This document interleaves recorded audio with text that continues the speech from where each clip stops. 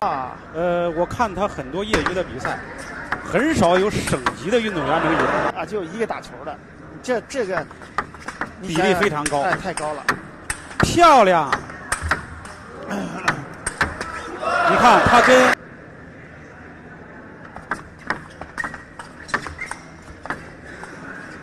漂亮啊！啊，为大家现场直播海南乾坤二零一八世界乒乓球大师擂台大奖赛。今天是五对五的比赛，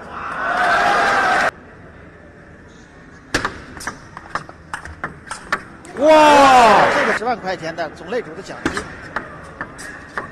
就说明天的这个比赛呢更血腥，这第一丝毫不怵啊！这就是中国哇！漂亮！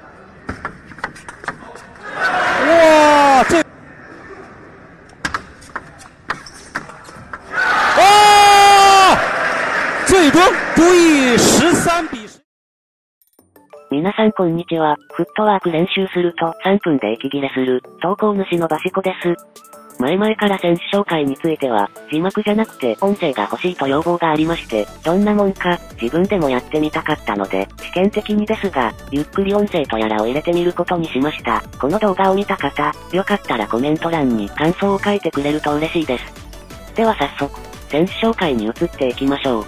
今回紹介するのは、中国の卓球選手、中、いい選手です。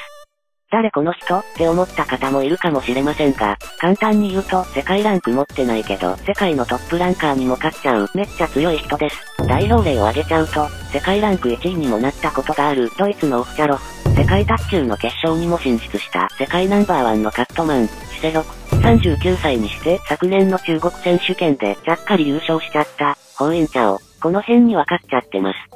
2年くらい前から、プレイは見たことあったのですが、プロツアーなどにも出ないので、どうしても忘れてしまう選手でした。紹介するにしてもデータの少ない選手なので、調べきれてない部分もあることをご了承ください。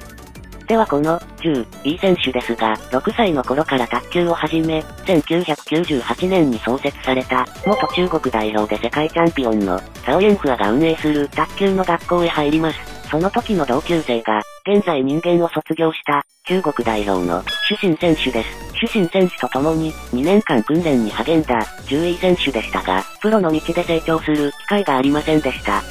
しかしその後、中国国内で進学しながらも卓球を続けた10選手は、学生の大会においては無敵で、中学、高校、大学においてチャンピオンとなり、中国のアマチュア卓球界では、彼を知らない人はいない、というレベルでした。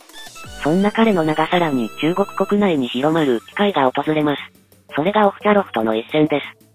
中国では海南省にて、海外からもゲスト選手を招き、プロ選手がハンデありでアマチュア選手と試合をしたりする、ハイナンチャレンジカップというものがあります。2018年のゲストは調べてわかる限りで、オフチャロフの他にクレアンガやサマラが参加していました。10位は、このイベントの運営から行われている様々な審査のようなものをクリアして、オフチャロフと対戦する機会を得ます。そして10位は、オフチャロフからのハンデとして、3点のハンデをもらった状態で、ゲームが始まる形で、試合を開始しました。そして冒頭にも言った通り、ハンデありとはいえ、勝っちゃいます。オフチャロフに勝ったのはハンデありかよ。と思ったそこのあなた、安心してください。セロクやホウインチャオにはハンデなしで勝ってます。このイベントが行われたのが、2018年1月半ば頃、オフチャロフが世界ランク1位になったのが2018年1月。そう、オフチャロフが世界ランク1位になって、ハンデありとはいえ、初めて負けた中国選手が、マロンや主審、ファンジェンドンではなく、世界的に見れば無名のアマチュア選手だったのです。この一戦で、さらに知名度を広めてしまった、10位、彼がアマチュアの大会に参加してしまうと、誰が2位になるか、という話が出てしまうほどです。今で言うと、国際大会から引退した、松平健太選手が、普通にオープン戦に出てくるような感じですかね。面白いのが、このオフチャロフとの一件で、10位に勝った者は世界を取れると言われるほど評されてしまったことですかね。